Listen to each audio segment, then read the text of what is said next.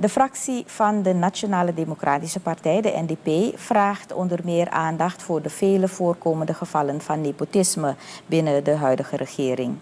NDP-fractieleider Robin Permeeser zei vanmorgen tijdens een persconferentie dat er veel schort aan de wijze waarop de regering haar beleid richting de verkiezingen uitstippelt. Het is meer dan duidelijk dat er sprake is van nepotisme, onderstreept Permeeser. Dit beleid lijkt uitsluitend gericht te zijn op het bevorderen van fans, friends en family. Ons Suriname lijkt verkocht te worden aan friends en family en zelfs ook aan buitenlanders. Dit is niet het land waarvoor we staan en dit kan zo niet doorgaan. Ons protest van gisteren in het parlement was geen impulsieve daad. Het was meer dan een signaal.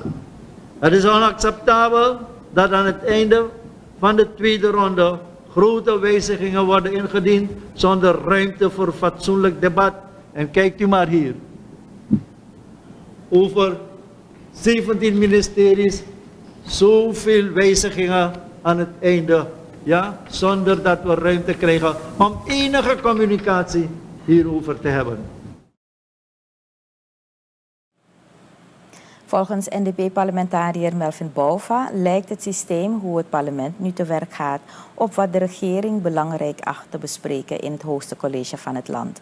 Bouva benadrukt verder dat niet eens stukken van burgers meer worden behandeld. Zijn ingekomen stukken. zijn stukken waarbij ontevreden burgers hun zaken dirigeren naar de Nationale Assemblée van parlement. En soms is het niet eens gericht naar de NDP-fractie of naar boven of parmisser of, of zang of wie dan ook. Vaak is het gericht naar de voorzitter en leden van DNA om te bespreken. En de laatste is van minimaal zes maanden geleden. We kunnen de laatste datum zelf niet achterhalen op dit moment. Ook als we kijken naar uh, uh, rondvraag. Iedere keer wanneer rondvraag aan de orde is op elke vergadering van DNA, waar je de ruimte moet krijgen om algemene kritische vragen te stellen aan de regering, wordt het agendapunt rondvraag, zelfs zonder afstemming met het parlement, afgehamerd door de voorzitter. We gaan dat niet behandelen vandaag. We zien hier ruimte voor debat.